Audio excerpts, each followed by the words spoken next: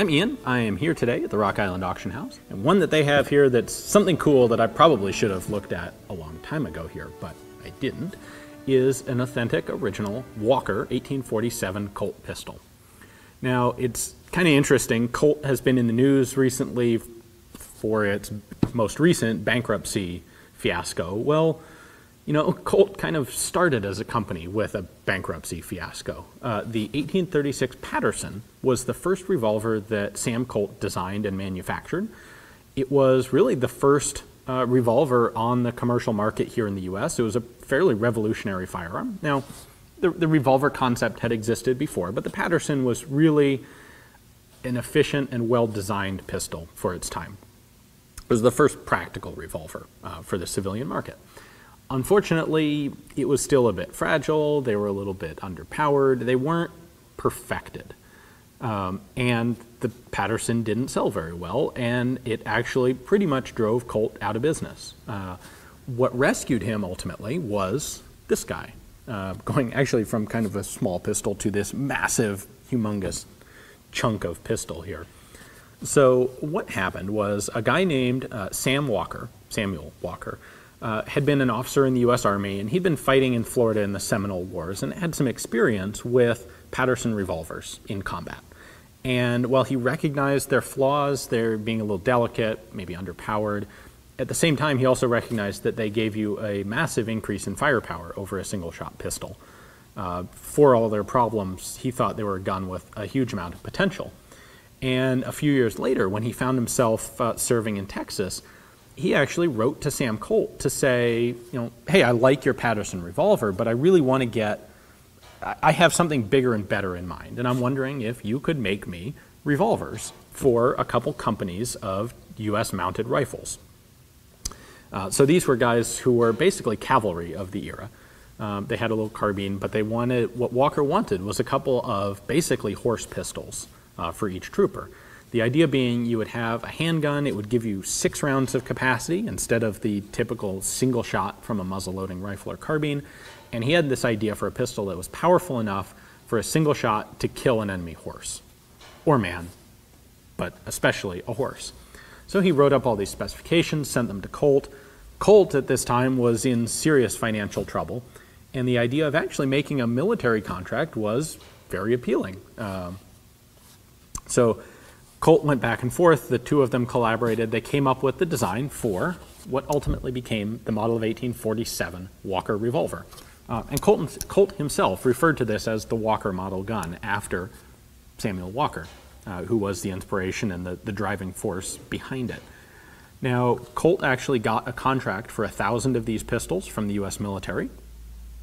And interestingly, it started out as a thousand guns, each one issued with uh, loading tools and a powder flask.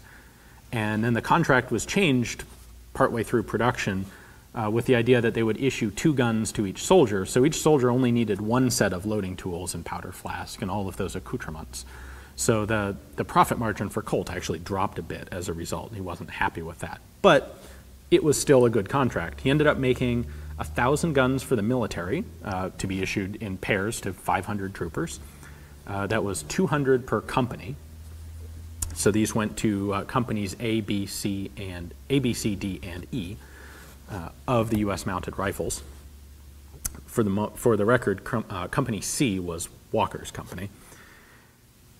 And he also made 100 extra guns for commercial sale. So a total of 1,100 of these pistols were originally produced. Now, let's come back in here a little closer and take a, a, an up close look at this thing because this is an absolutely ludicrously massive pistol, and it's really worth a closer look. All right, so the Walker here is actually bigger than my camera frame, so let me zoom out a bit. A little more, there we go. So this was actually the most powerful revolver on the market until the introduction of the 357 Magnum uh, in the 1950s, believe it or not. Um, has a nine inch barrel on it, a huge cylinder. The whole gun weighs about four and a half pounds, a little more than four and a half pounds actually. And it will take a powder charge of up to 60 grains of black powder, which is pretty much the same charge you'd put in a rifle. Now, it's not quite going to have the same ballistics as a rifle because it does have a cylinder gap and it does have a much shorter barrel. But uh, on a, just on a scale of, of zero to massive, this thing is massive. Now, uh, they were made out of iron with a brass trigger guard here.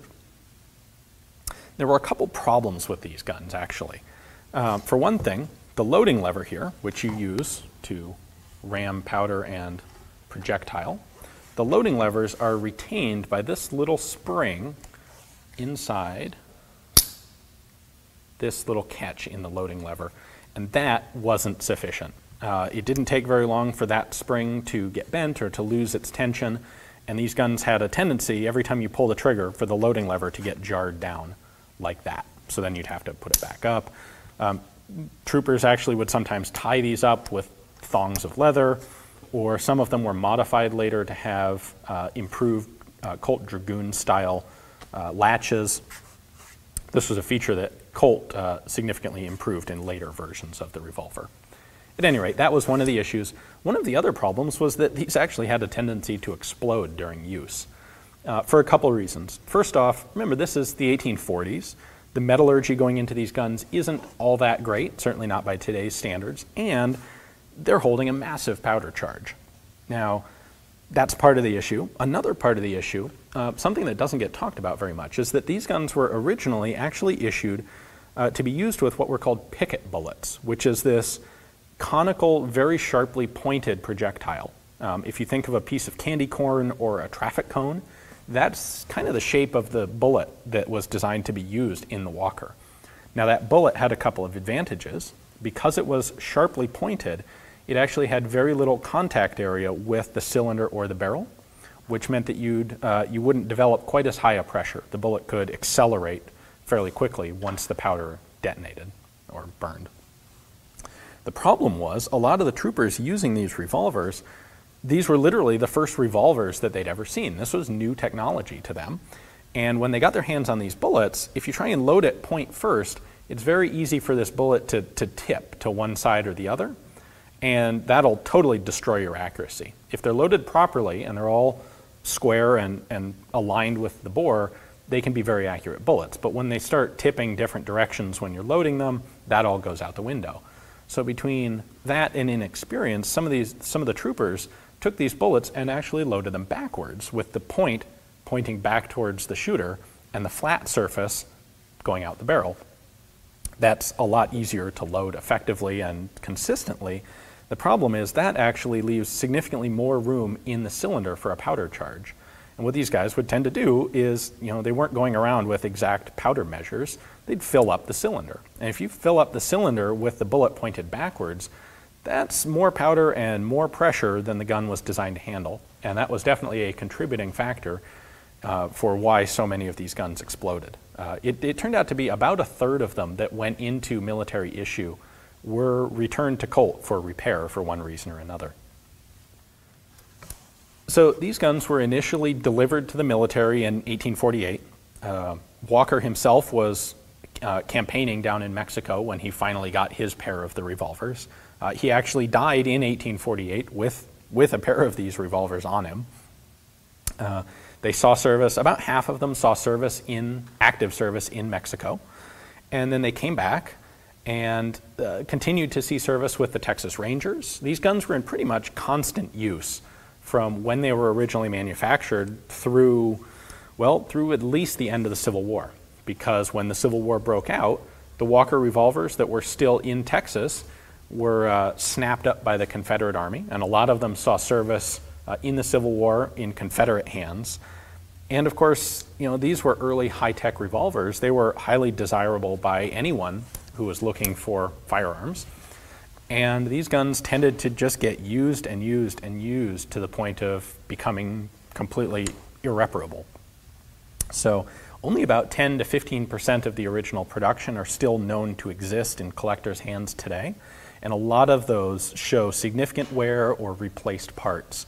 Uh, it's not common, not uncommon for the wedges to be replaced, uh, screws sometimes, in this case, the loading lever here is actually a modern replacement, which probably explains why this uh, spring is in quite good shape and seems like it'd be pretty effective. Uh, so yeah, sometimes you'll get replacement levers. Uh, sometimes you'll also find the levers to have been modified to the style of the later Colt Dragoons.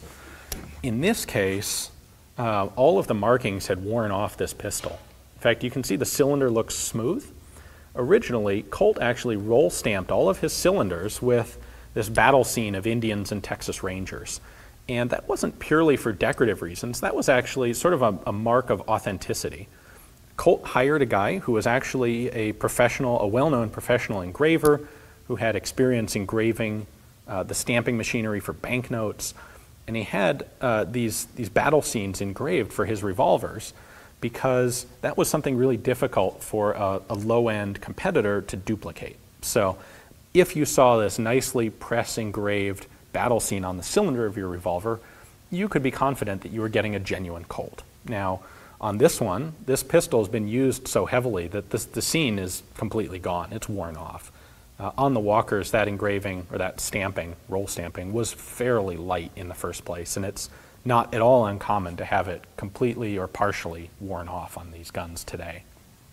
However, the markings on the gun have actually been recut so that they're all legible. Um, and it's interesting, normally you would expect a unit mark on a pistol to be something that was done kind of ad hoc by a unit armorer. In the case of the walkers, these unit marks are actually made by the Colt factory. And so they will designate the company and the gun number somewhere between 1 and 200.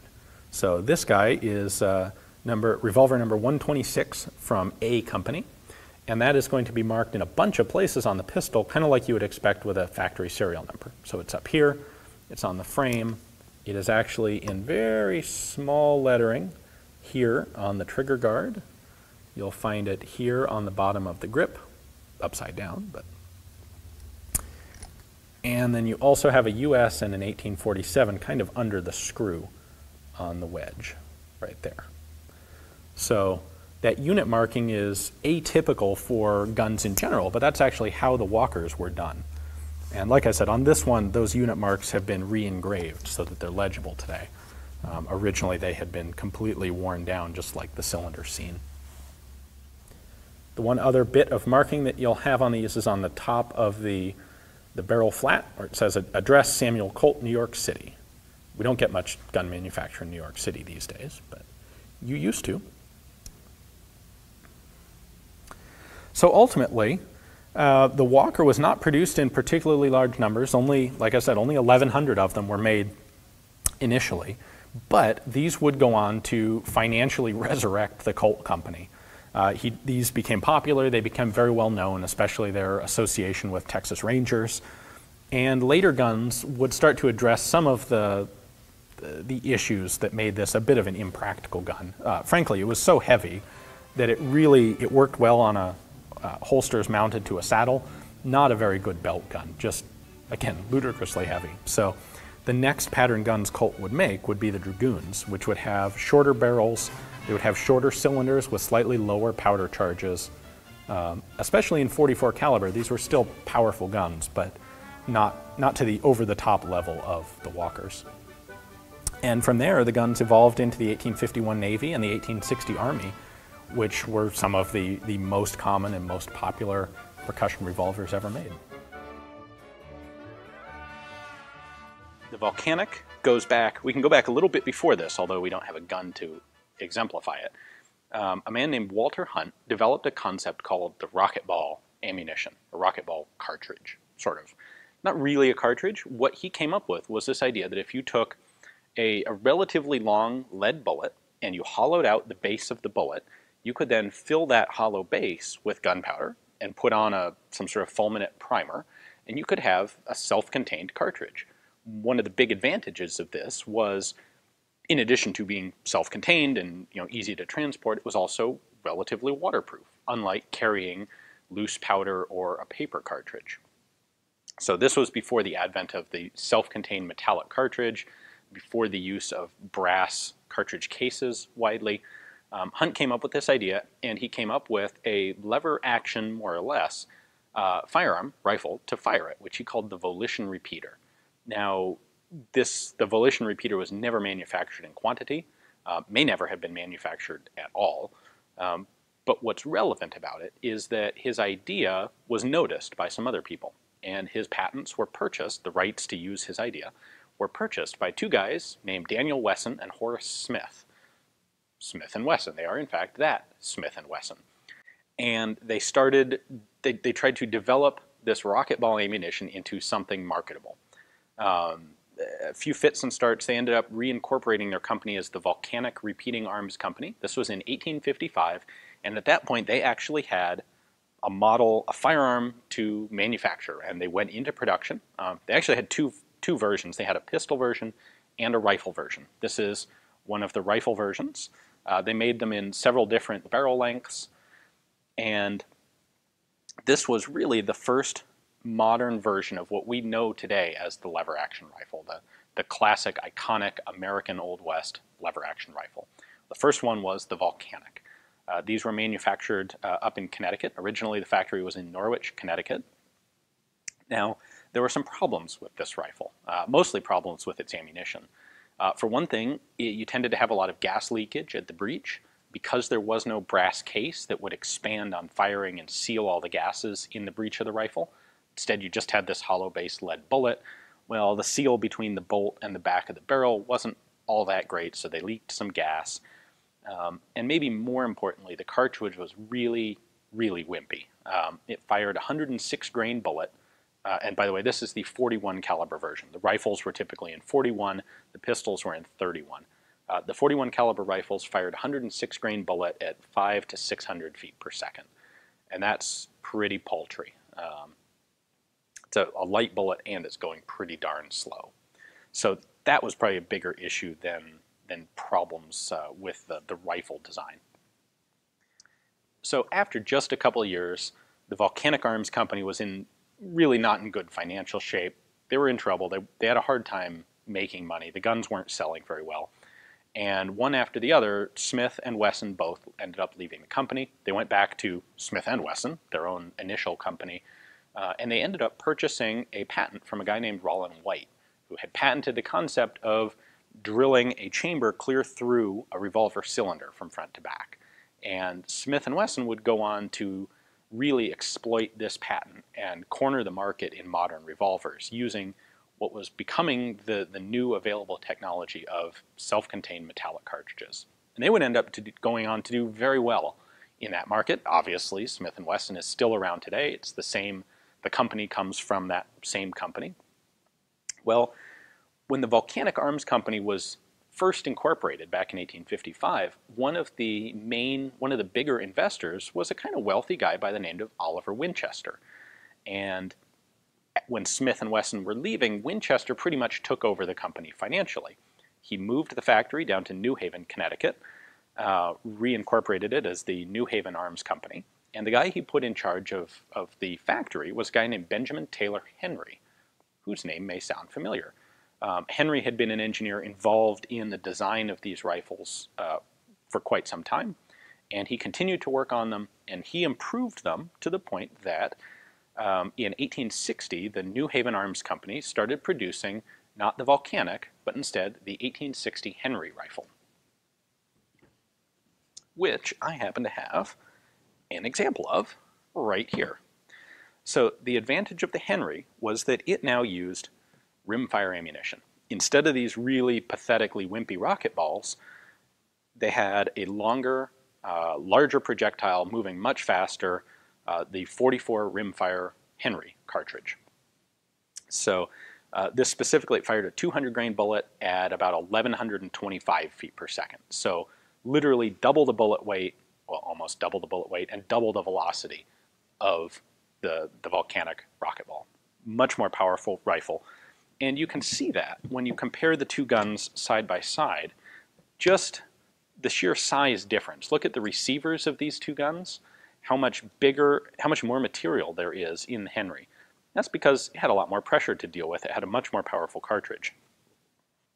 So the rimfire ammunition used in the Henry had another advantage, that being it wasn't caseless ammunition. Caseless ammo has always, back when it was the volcanic and today with modern experiments, it always has kind of a couple of similar problems, and one of those is what happens if a round doesn't fire, if you have some sort of malfunction? Well, the Volcanic had no extractor because there was no case to pull out of the, the chamber after you were firing. There was no mechanism to pull anything backwards. So if you had a dud round, you had to open the lever up and then get a cleaning rod and try and ram the, the dud, dud round out the back of the barrel. It was kind of a mess. If you had a dud, you're in, in trouble until you can deal with the gun. Well, by switching to modern cased rimfire ammunition, the Henry added extractors to its bolt. So now, after you fired, you would extract the empty case, which meant if you had a dud round, you could extract it as well, just like an empty case. Um, the brass case also alleviated all of the gas sealing issues because now you had that brass to expand and create a gas seal. Um, the Henry was a, in general, a, a more practical gun. It was heavier, it was more durable, it fired a more powerful cartridge, and it proved to be immensely popular. Now, one of the issues with the Henry was it didn't have a handguard. Now, the Volcanic hadn't either, but on the Henry, you've got this, this tab here is your magazine follower. And so in addition to the barrel getting hot as you fire, because I mean, the, the magazine capacity on these was significant. Uh, with the Volcanic, depending on barrel length, you could hold between 20 and 30 cartridges in the tube. Um, the Henry cartridge was a bit longer, uh, so capacity was reduced, but you're still talking easily 16 rounds in the tube. That'll get this, this barrel hot, 16 rounds of black powder. So kind of missing a bit of a handguard here. And then in addition, this magazine follower is moving backwards every time you load a new cartridge. And at a certain point, it's going to hit your hand, your support hand, like this. And if you don't recognize that, if you hold your hand here and stop the magazine follower, you no longer have spring tension pushing cartridges down the magazine, and you'll start cycling the gun, and you won't get any new cartridges. You have to remember to do what is in cowboy action circles today called the Henry hop, where you pull your hand, you know, the, as the follower approaches, you pull your hand from here, hop it out in front of the follower uh, so that you don't obstruct this guy. At any rate, this, this was a, a liability of the Henry. Um, you also had a rather awkward loading mechanism where you had to bring the follower all the way up to this. You know what? I'm going to leave this spring alone you would bring the follower all the way up here, and then the front half of the barrel and magazine tube, the front half of the magazine tube, actually rotates 45 degrees, and you load it from the front, kind of like a tube-fed 22 today. And that was a bit awkward. So the New Haven Arms Company is continuing to work on modernizing and improving this rifle, and in 1866, they renamed themselves again, and they now name themselves the Winchester Repeating Arms Company. Oliver Winchester is owner and thoroughly in control of the company. And in 1866, they came out with their next rather groundbreaking new development in firearms, that being the 1866 Winchester rifle. This includes two primary improvements. Now, it's still chambered in 44 Henry rimfire, uh, which is still a pretty reasonable cartridge. It is pretty darn close. It's just slightly less powerful than the 4440 uh, cartridge, which would follow in 1873. Um, the 44 Henry was was a perfectly adequate pistol cartridge. Now, what the 66 Winchester um, improved on was, first off, we have a handguard here, so you now have you don't have to worry about the barrel heating up too much. They also significantly changed the loading and the magazine structure. So instead of having to load from the front of the magazine tube, you now have a loading gate, patented by a guy named King. And all you have to do is you can thumb cartridges in from the back of the magazine tube. And once we get to this point, now we basically have the modern Old West lever gun. Well, the, the fully realized Old West lever gun, shall we say. So we normally think of these rifles and carbines as being chambered for cartridges like um, the 45 Colt that's not historically accurate. The 45 Colt hadn't been invented when this, car when this carbine was developed. Um, the reason we have that association is because of the popularity of things like cowboy action shooting, which has led to uh, the marketing of reproductions of guns like the 66 Winchester in more modern cartridges that are relatively easy for people to shoot today. The problem with 44 Henry is it's a rimfire cartridge. Uh, nobody has made it in many decades. Original ammo is very scarce. And uh, rimfire cartridges just people aren't really interested in them today. They'd rather have a reloadable cartridge and a center fire round like 45 Colt uh, makes a good fit for a rifle like this if you're making reproductions today. So that's what most of them are in, and that's why people kind of assume that these rifles would have originally been used with those cartridges, which they weren't. Um, the brass that you see here is actually uh, a material called gunmetal. It was an early bronze alloy. Um, has a couple of advantages over steel. It's easier to machine, it doesn't rust, um, it looks cool. This is what gave some of these guns uh, the nickname Yellow Boys. Uh, had nothing to do with racism, it was because they had rather brilliant yellow receivers. So they, they kind of acquired that name easily and automatically. I think that is pretty much going to cover the level of history I wanted to get into today. Um, after the 66, there was a whole progression of, of further uh, lever action rifles. Uh, just with Winchester, there would be the 73, the 76, uh, the 95, the 85 or 86, uh, the 94, the 92, and that's not counting the other companies like Marlin and Burgess that were also making lever action rifles.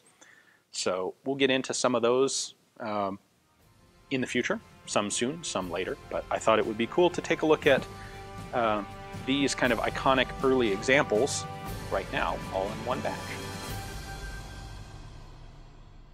I am taking a look today at the LeMat grape shot revolvers. Finding one of these is pretty cool. They're fantastic, really interesting guns. They're a neat concept, they're neat mechanically, they have this cool Civil War, uh, Confederacy legacy to them. Uh, one is cool, two is really cool, five is a really outstanding opportunity to look at some of the differences between them. So I have done some previous videos on these guns, and I'm going to let those stand. And if you're interested in the history, I would refer you to those videos. What I want to do today is take a look at the variety of the guns that we have here today. So what we have here are, first off, a, a very early Belgian-made, basically a pre-production prototype. Uh, very cool to look at. Very few of these still exist. So definitely we'll, we'll take a look at the features of that one. And then we have two that are early first model guns, uh, serial number 8 and serial number 88.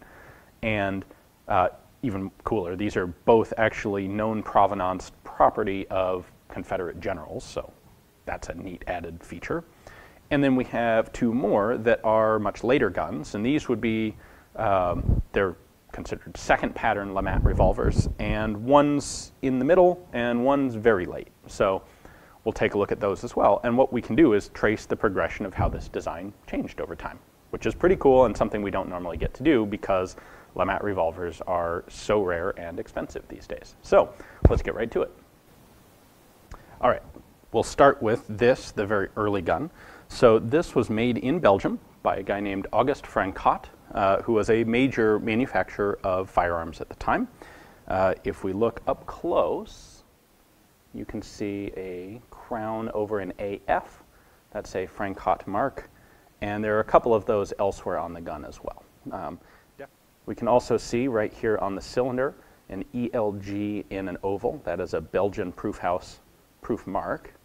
So the reason for this was that LeMat was looking for manufacturers in Europe to build his pistols. He had a couple of prototypes made in the United States, and it would appear that those were used as a model for a number of additional guns to be made by Francotte. These probably would have been used as samples when visiting other potential contract manufacturers to show them, look, here's what we want you to produce. Uh, this one is actually serial numbered 16, although it's serial numbered on internal areas where I can't easily show you the numbers. Uh, underside of the barrel, back face of the cylinder, that sort of thing. Um, and this is one that I don't really want to take apart. Um, a couple of things to point out. So the, the lockup between the barrel and the frame here is this type of joint, which will change very quickly on the production guns. You'll also notice it has a hammer that is shaped very much like a traditional revolver hammer. So it's a very high spur, a bit narrow, uh, checkered, you know, run it like that. And there is no mechanism to help you lower uh, the hammer face here. So what you do, I should point this out for people who aren't familiar with the LeMat, you have a nine round revolver cylinder. These were typically 42 caliber. And then you have a central shotgun bore uh, that acts as the cylinder axis. And This would typically be 18 gauge. Now, in order to change to fire between the two, you put percussion caps on all of them, and when the hammer is in this position, it will fire the cylinders, or the chambers, all in succession. And then you can pivot the hammer face down like this, and then when you fire it, that hammer face will land on this central percussion cap, which fires the shotgun bore. So on this early Belgian-made gun, you, you kind of have to grab it and wiggle it down. Yeah, it's not hard, but you can see how that might be troublesome in combat if your hands were cold or gloved or wet or muddy or anything like that. So uh, there are a number of brass features on this pistol. The lanyard ring down here is a fixed large brass piece. Trigger guard is brass. You'll notice that we have a ramrod on the right side of the gun. Now to use this, it has a little snap hook up here. And then you pull it back like so. So to use the ramrod, you line up a cylinder, a chamber with the rammer, put in your powder, seat your ball, and then ram it like so. Now you also have this shotgun bore, and you've got to have a way to deal with that. So what they did was they built a second ramrod in as this lever. So if I take the end here and unthread it slightly, I can then pull out an additional ramrod, and I would use this to manually pack a charge into the shotgun barrel. And then when I'm done, this screws right back in so that you don't lose it.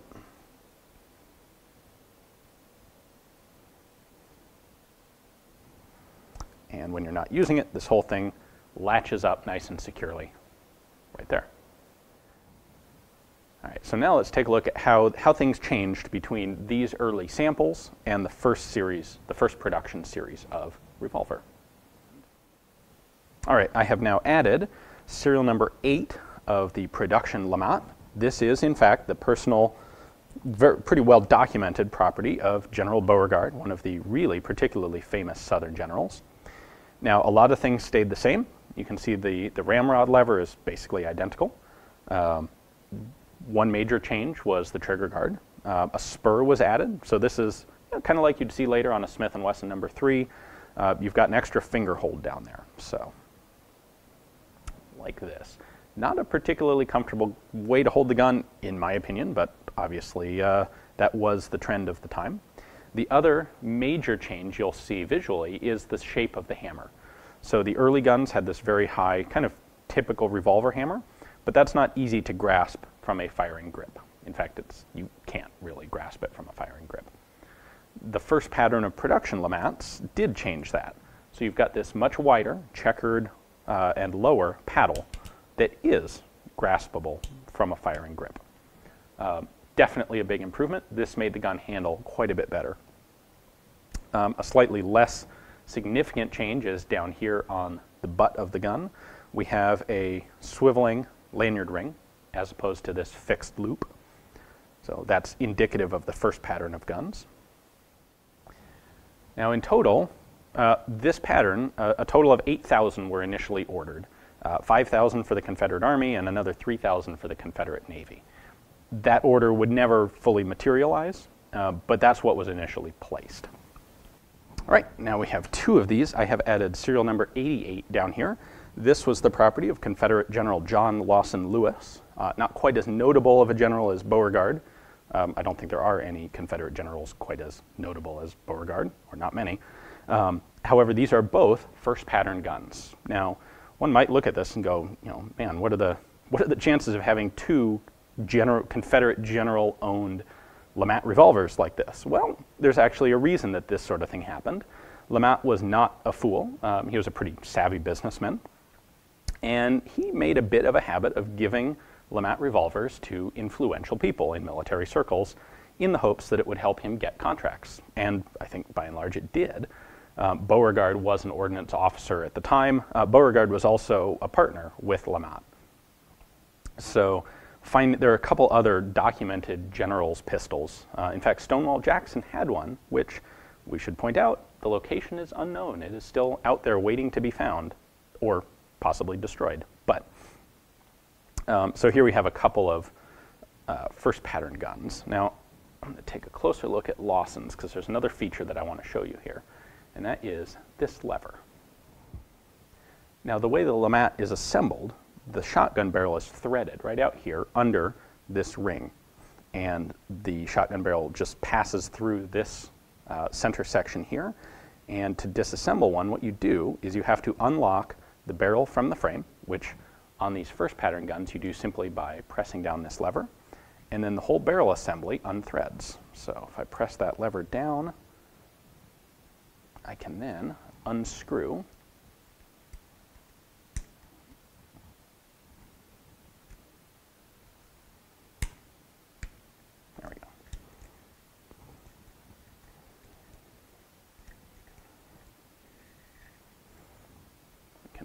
unscrew the barrel assembly.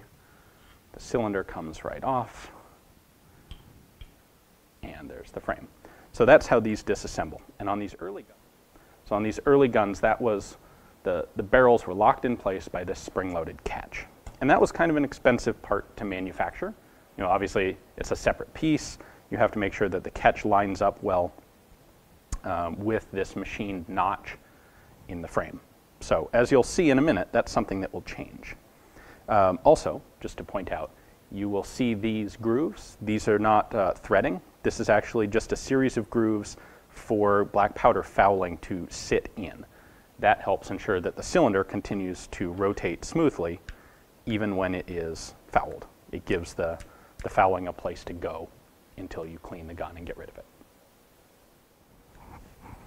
All right, now in total, by the way, we're back to Beauregard's pistol here, and then we have a second model gun. Uh, this particular one is serial number 1329.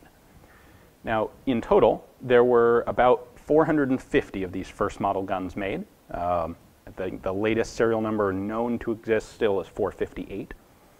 And then there were about 1,500 or 14, eh, about 1,500 of these second pattern guns made. So these, the serial numbers start about 1,000 and go to about 2,500. You may have noticed there's a space missing there.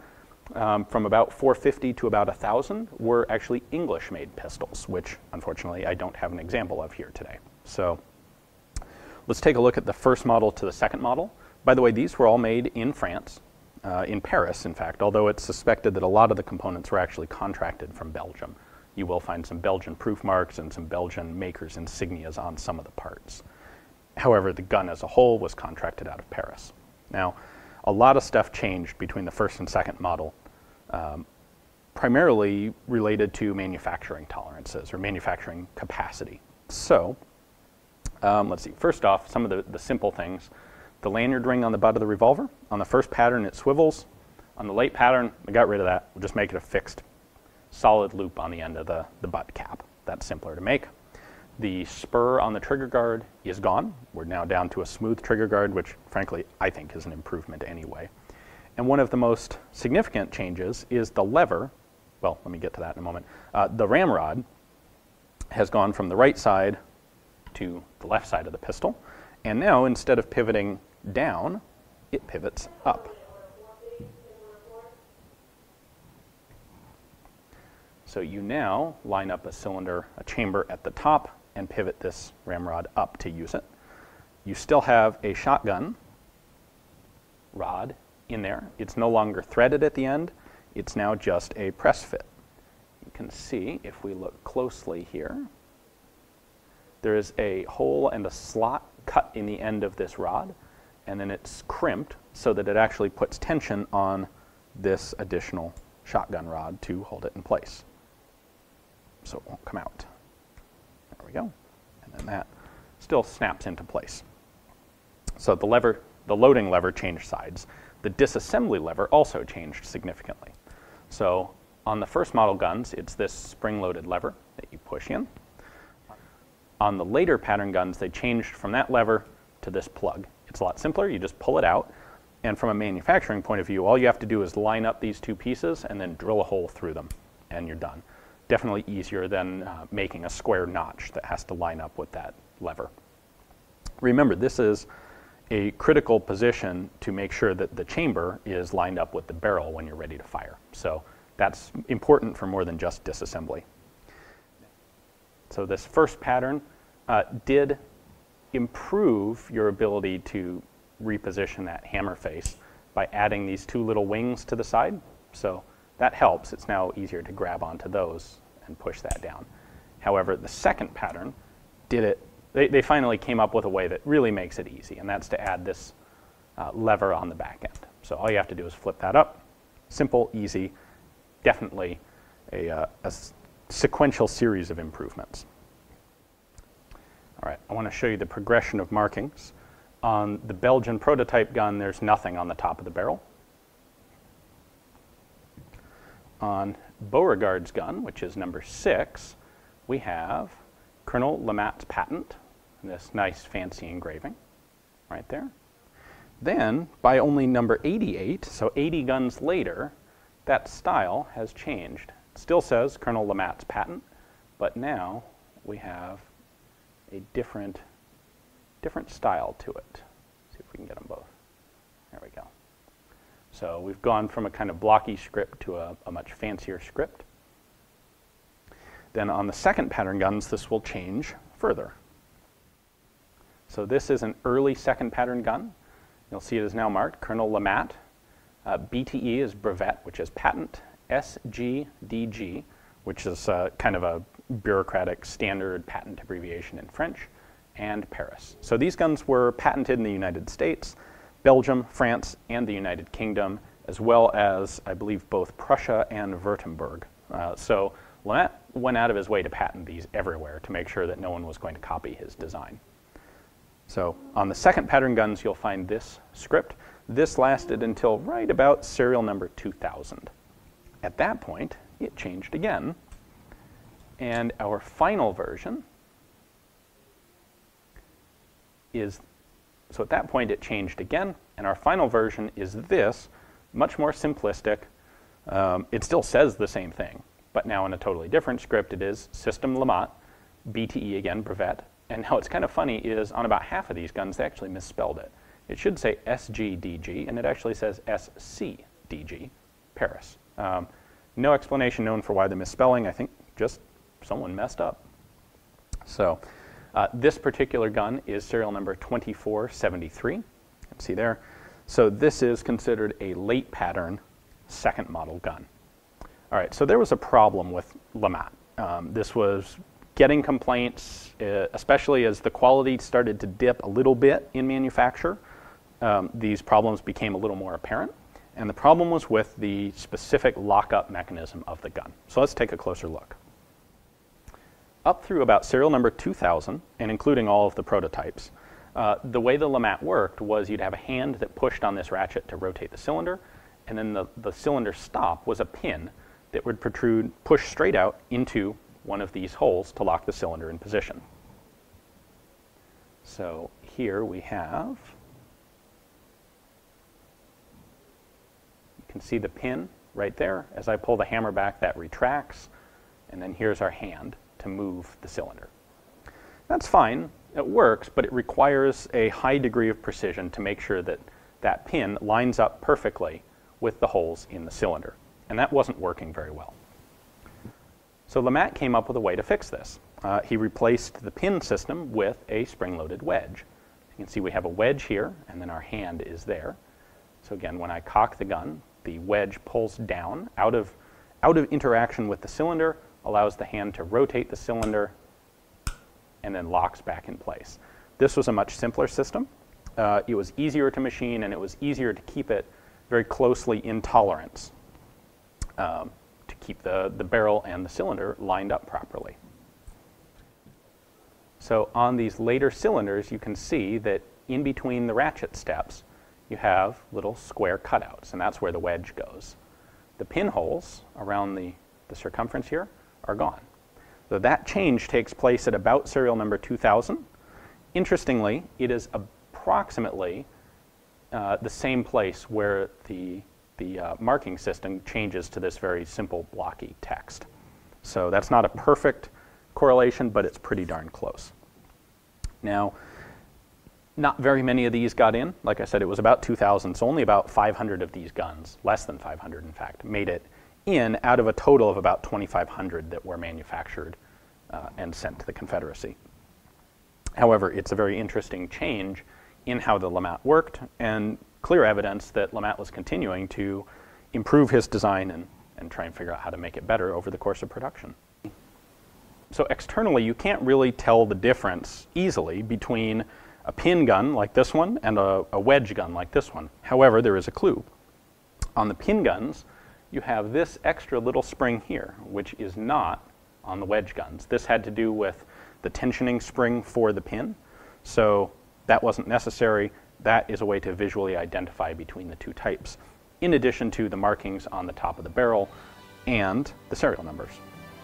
So there you have them from the earliest here, pre-production, our two first pattern guns, General Beauregard's and General Lawson's, and then our early second pattern and our late second pattern. The only one missing here is an example of the English manufacturer.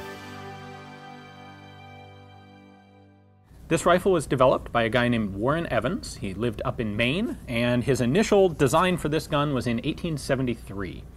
Uh, interestingly, this is, until Bushmaster moved to Maine fairly recently, uh, this was the only firearm mass produced in the state of Maine.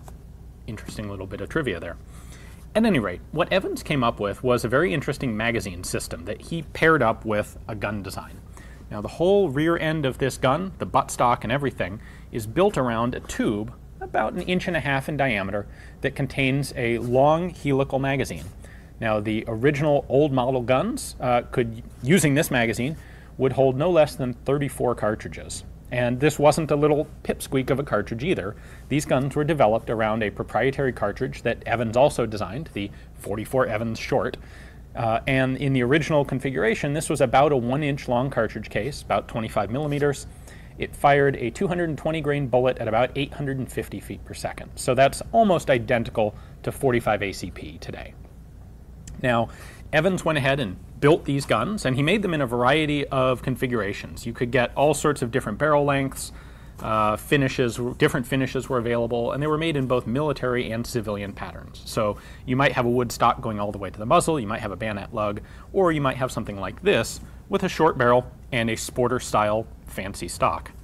The old model guns he manufactured from 1874 until 1876 and didn't make very many, probably only about 500.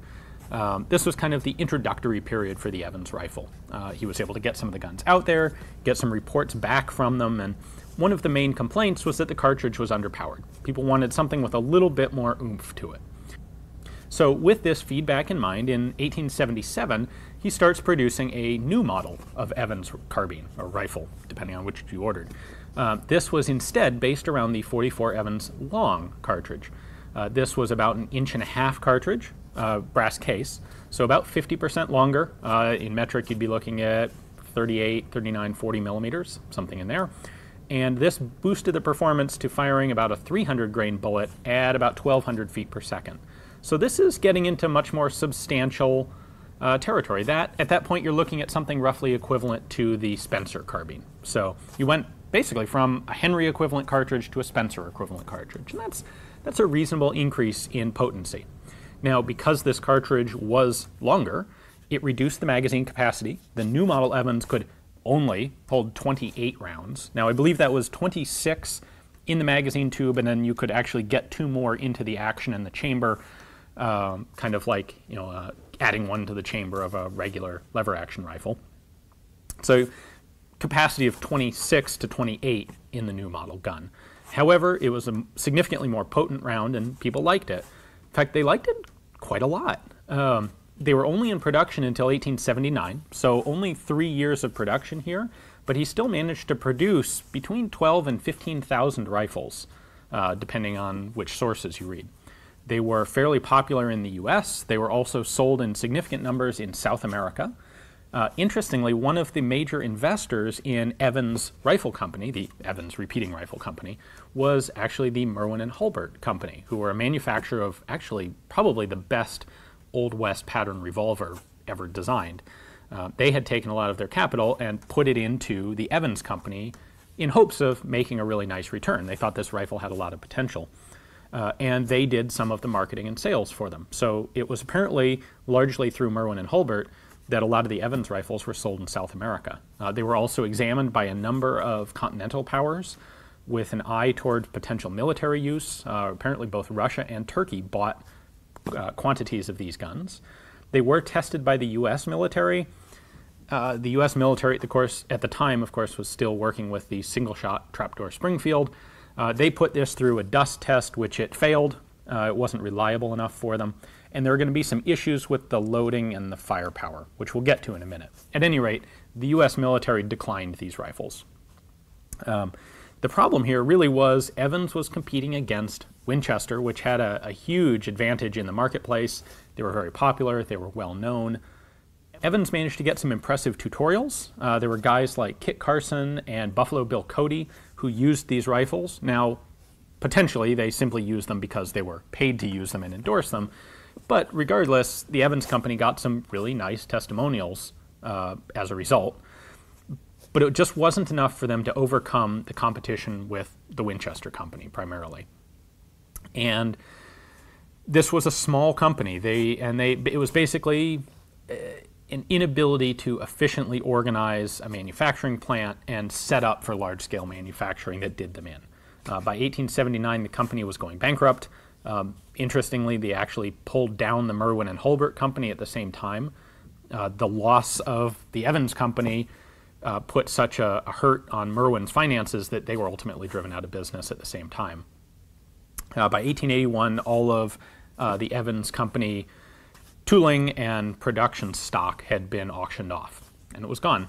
Uh, Warren Evans himself uh, went back to his career in dentistry and continued to invent things. He patented some other designs for dental application technology and ultimately lived until 1912, apparently. So he had a, an impressive run at it. Wasn't, and, and you know what, 12,000 to 15,000 rifles, that's pretty substantial.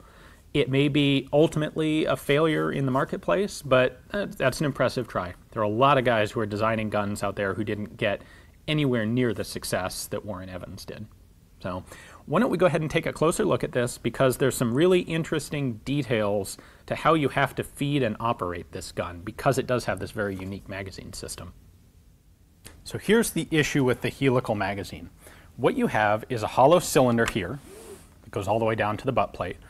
And it has a spiral track running in it. And that track is uh, controls the front and the back of the cartridge. So that, that spiral track allows cartridges to uh, spiral their way up this tube. Now in the center of the tube, you have a cross-shaped follower. So you can see it right here. And every time you run the lever, you rotate that follower by 90 degrees, or a quarter of a turn. What this does is it means that each cartridge, you'll have four columns of cartridges, one in each corner of this follower, and they're all stuck on this uh, spiral track. So each time that you rotate the follower, you're pushing each cartridge slowly up this magazine tube. Now, one of the nice side effects of this is there's no spring. This isn't a spring-loaded magazine, it's a manually operated magazine. Think of it as like an, an, an elevator or a uh, conveyor belt, where each time you operate the lever, you're moving the whole system forward by one increment. So that means there isn't a magazine spring to go bad. That's kind of cool. The downside is it means that when you load this thing, you, it's, it's like loading a conveyor belt. You're putting one cartridge in each position all the way down this magazine tube because you start, in order to load it, you actually start at the butt right here. We have a loading gate that you open and then you slide a cartridge in, just one, and then you have to operate the lever and that rotates the follower which pulls that one cartridge one position up the magazine. Then you put in another cartridge, run the lever again, put in another. You repeat this on a new model gun like this, you would repeat that process 28 times or 26 times, and you would end up with one cartridge right here at the top of the magazine, the whole stack of the magazine full, and one ready to shoot. Now, again, the, the conveyor belt analogy works really well here because let's say we shoot a round. Chamber it, we fire the round, we open the action, We've now ejected a cartridge. Everything in the magazine tube moves up one position, and this means at the very end of the magazine, right back here, we now have one empty space in the magazine. Let's say we shoot three more rounds. So now we've got four empty uh, increments, four empty spaces at the back of the magazine. If after four rounds we now have a, a moment, we can do some loading.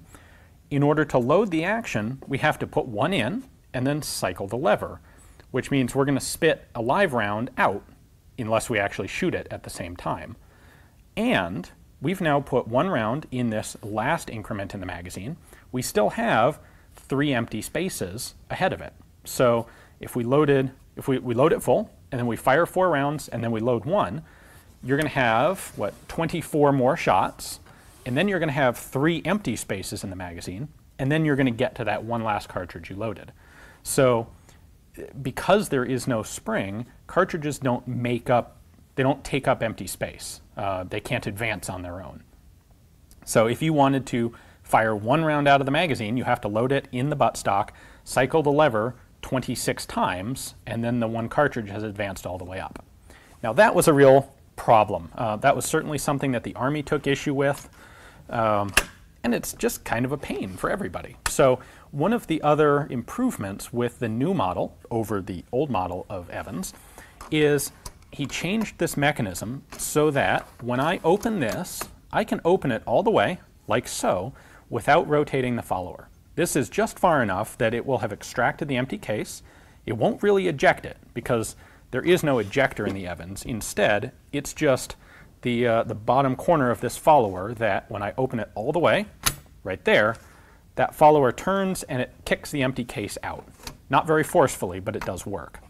Well, if I want to single load this, I can, but I don't have an ejector. So I'm going to have to kind of shake out the, the empty cartridge and then I can single load a cartridge right here without having moved the magazine follower because it's only that last little bit of action of the lever that cycles the magazine. So I can open to here and I haven't moved the magazine until that last bit. That allows me to single load the action, which would definitely be a convenience. What you would, so a couple other features here we can take a look at. This is the exposed portion of the hammer, so it does allow you to tell if the gun is cocked or not, and when you fire it, that hammer does drop, like so. We also have this little thing, lever, button, whatever you want to call it. That is a manual lock for the lever. So to use that, what we do is pull the action, pull the hammer back just slightly, and there's a notch in the hammer here. In fact, you can see it when I pull it back farther. So you've got this notch. What you do is line it up with that button, push the button in, and that prevents you from opening the lever. So if you were carrying this, say, in a saddlebag scabbard, you could lock the action with that button to ensure that it didn't bounce open when you when the horse was running or you didn't accidentally bump it, open the action, cartridges fall out, dirt gets in, anything like that. The markings on an Evan are right here on the top of the barrel.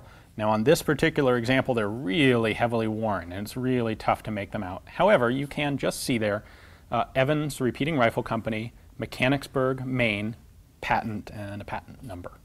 So that, that's what you've got for markings. The old model rifles were serialized. The new model rifles, interestingly, were not. So there is no serial number on, an, on a new pattern Evans to reference. So the rear sight here reminds me of, actually kind of of a Lebel rifle, although it predated that. Um, it's a pretty simple, basic stair-step of, style of sight. You've got four increments here. This is one, two, three, and 400 yards. And then you can also move this slider. Uh, this one is stuck in place, but it'd be easy enough to free up.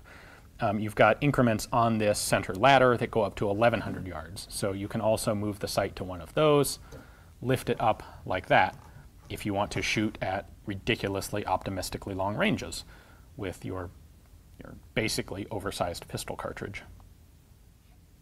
A quick note on models. The old model Evans, and again, there were only like 500 of those made, do not have any wood on the bottom of the stock the there is a transitional model, which I've kind of overlooked here so far, which has features of both old and new. The transitional guns still use the Evans short cartridge, so they will not have this dust cover on the action. They will, however, have a two-piece stock like this. Um, and I think something like 1,000 to 1,500 of the transitional guns were made. Then you get the, the, the much more common version, which is this, the new model, where you will see that it has a dust cover. You, if you look at the two side by side, you'll of course see that the ejection port on the new model is substantially longer than that of the old and the transitional. That's because it had to be big enough to eject the longer, uh, the new pattern, longer cartridge. So dust cover, the ejection port, those two things show you the, uh, or indicate the new model Evans. If you look at a transitional and a new, you'll also notice that the hammer style is different. Uh, the, the old and the transitional guns have a hammer that actually is, uh, acts this direction it lifts out this way, where this one is a linear instead of a rotating hammer. So one last interesting tidbit on the Evans. Um, this comes from uh, some cowboy action shooters who have taken the, the time to really learn these rifles and hand load for them and shoot them in cowboy action competition. Interestingly, the bores, as far as we can tell, always tend to slug out at uh, 0.430 inch. So 429, 430, which is typical of kind of what you would expect for a 44 caliber. However, the original ammunition, if you measure the bullet diameter, the original bullets are 0.419 inch, which is substantially undersized. Now, I didn't see any reference to anybody who had actually pulled one of the original bullets to look at its construction. Uh, it may be that those were a hollow-based bullet, and the base really would expand uh, that 11 thousandths of an inch to fill the rifling. Uh, it was also supposed that this might have been uh, something anticipated, basically a byproduct of the high capacity of the rifle, that Evans was anticipating that you would be shooting a lot, and thus you would have a lot of black powder fouling in the gun. And this extra deep rifling may have been a way uh, to allow the gun to continue to function effectively with a lot of black powder fouling in the barrel. Uh, if you gave it a lot of rifling depth to accumulate in, you would get that many more shots off before it would start to affect your chamber pressure. Whether that's actually the intent or not, I really don't know. Um, that's one of those still sort of mysteries out there about the Evans. One that I found here that I was not expecting to see was a Roper revolving shotgun. Now, it wasn't all that long ago, actually, that I did a video on a different second Roper um, that last video, the gun was, it was kind of a mess. It was missing some parts, had some broken pieces, and I didn't think I would have the chance to see a complete one for a long time, so I figured I'd take advantage of the broken one. Well, lo and behold, here I have a complete and functioning one. And what's really cool is that it has a handful of original Roper cartridge cases with it. And those are a very interesting and important element of the gun. So uh, this, this shotgun was invented by a man named Sylvester Roper. He patented it in 1866. They went into production in 1867. He's typically not really well known today. Uh, he did actually collaborate with Christopher Spencer, and the two of them working together got a patent for the world's first pump action shotgun in 1882. But what Roper is much better known for in general is actually his work with motorcycles. He was inducted into the U.S. Motorcycle Hall of Fame a few years ago. Uh, he actually died in his 70s while riding a steam-powered velocipede. Uh, you know, cool way to go out, by the way, uh, classy.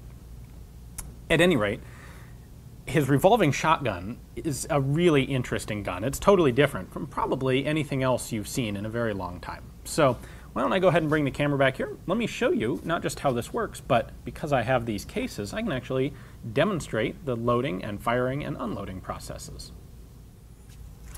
All right, at a basic level, the Roper is, is a four-round rotating magazine. These were made in 12 and 16 gauge. This particular one is 12 gauge. And what makes it, first, the first thing that's unusual about it is that it is actually an open bolt firing, manually operated shotgun. So what we have here is the bolt. When I cock the hammer, which by the way has a very long stroke, the bolt head comes back, and you heard a metallic click in here. This is actually under spring tension, and it rotated one position at the final bit of the hammer cocking. So we now have the bolt extending backwards out of the gun. What we would do is we would have one of these shells sitting in here. When you pull the trigger, this one's a little bit finicky. When you pull the trigger, the bolt drops. It's going to pick up that shell that's sitting on that magazine tray It's going to run it all the way forward. The bolt then locks in place, so you can only, pushing on the bolt won't open it up. You have to pull the hammer in order to unlock the toggle inside here. Um, this is chambered, and the last bit of travel of the hammer throws the firing pin forward and fires the shell. You can then cock the gun again. It has an extractor right there at the front of the bolt. It'll pull that case out, leave it in the gun in that position on the magazine, and then rotate to the next shell. So I have this loading gate open so that you can see what's going on. What you would actually do is load the gun and then close the gate, and you'd keep it closed so that the entire action of the gun was sealed up and wouldn't get dirty. Then to unload the gun, well, let me show you the loading process first, because unloading is exactly the opposite of loading.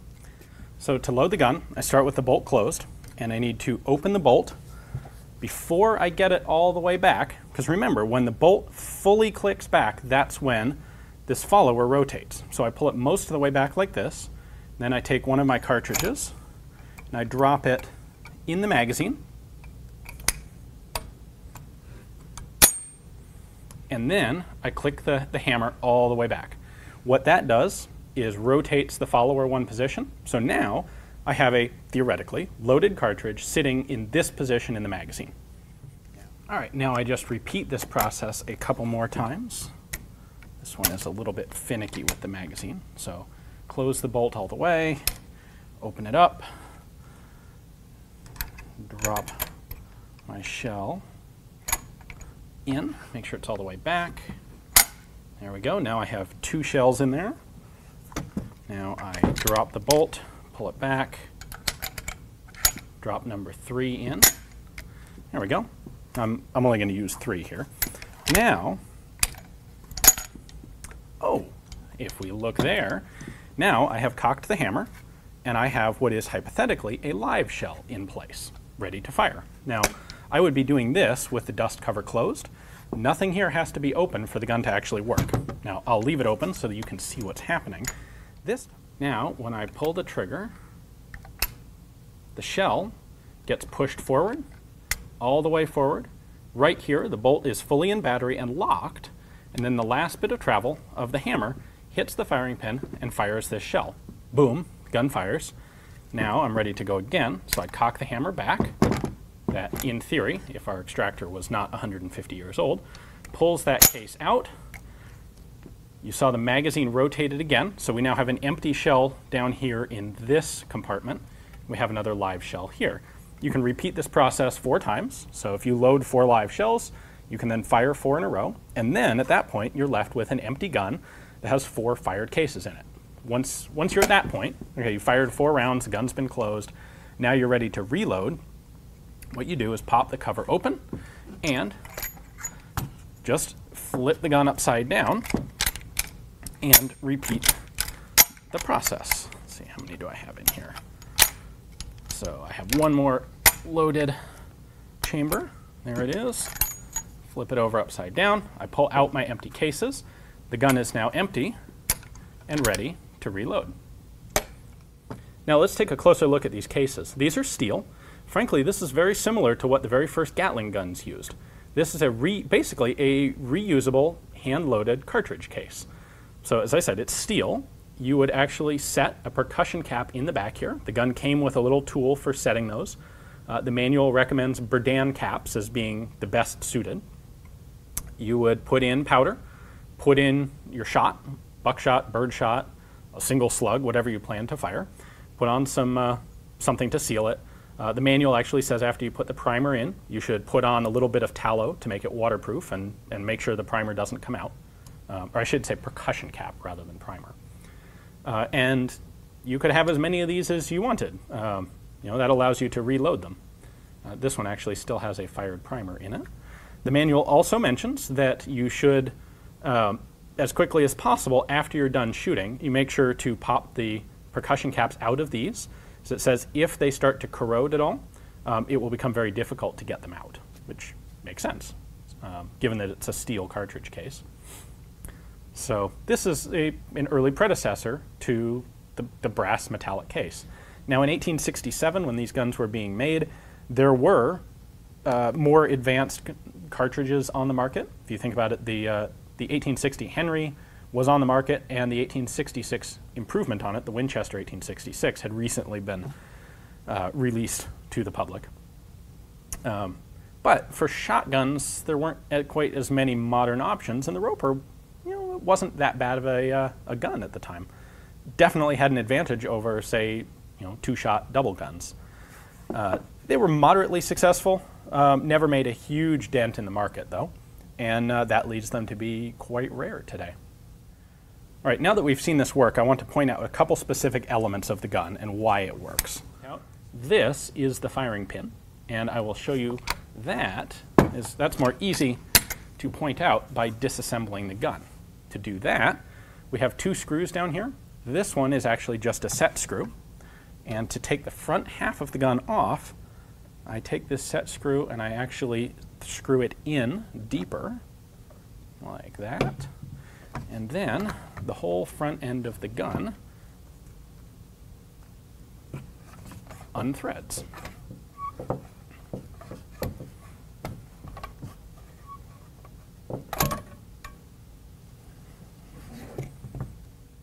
So this is just a big hollow cylinder with a barrel in it. It does also have a center hole right there that's a locator for the magazine follower. If we look at the back half of the gun, you can see we have the follower here. When I push the bolt forward, you can see that this is a continuation of that firing pin piece. Comes to right there we can pull out the follower. It has four very small little cut sear edges that dictate its rotational motion. Um, in this, they're a little bit worn, and every once in a while you have to manually kind of adjust the, the follower to get it to cycle. You probably saw me doing that. And then this is the back end of the gun. So what this system did was ameliorate the problem of a muzzle loading shotgun by using this cartridge case to fully enclose the, the combustion in the chamber. So if we had a gas seal, it would be up here. The barrel came all the way back to here, and that prevents any significant amount of blow-by. It probably got quite dirty. This is a very thick steel case, and it would almost certainly not obturate well. Um, obturation is the idea of the, the case material expanding under pressure to form a gas seal. You can do that with steel cases. Uh, in fact, there's quite a bit of Steel-cased ammunition has been used regularly by militaries, and frankly, a lot of the AK ammo you buy today is steel-cased because that's cheaper to make. Um, a steel case this thick isn't going to be doing very much stretching. Here's our extractor on the bottom of the gun. Interestingly, um, the previous roper that I was looking at on video had an extractor on the top of the bolt instead of the bottom. I'm not sure exactly what significance that has, probably some manufacturing changes over the course of production. Today, we're taking a look at a Roper Sporting Arms Company revolving rifle. Now, we've previously looked at a Roper revolving shotgun, but there's a little bit more to this story that I wanted to share with you. So, uh, there are two names involved with this. One is Sylvester Roper, uh, who's the guy who designed this interesting idea for a four-shot revolving shotgun, which became a revolving rifle as well. Uh, the other is Christopher Spencer. Now, you may recognize Christopher Spencer from the Spencer lever action repeating rifle, which was adopted and manufactured in pretty large numbers during the Civil War. It was the standard U.S. cavalry carbine for a short time after the war, um, and it is distinctive for being really the first militarily adopted lever action repeating rifle. It's pretty cool. Interestingly, though, Christopher Spencer, the guy who invented it, was never actually a stockholder in the Spencer, Spencer Arms Company.